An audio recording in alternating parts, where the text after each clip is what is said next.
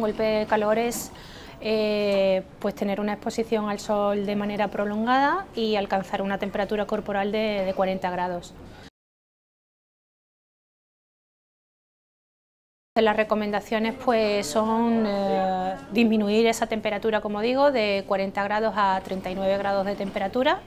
y para eso pues se pueden tomar medidas físicas como poner compresas frías,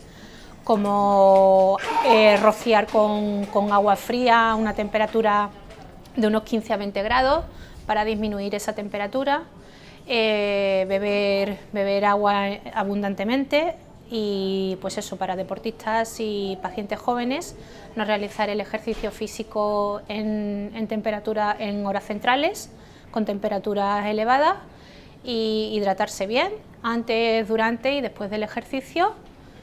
y, bueno, eh, básicamente una, adecuada hidratación y evitar la exposición en horas centrales.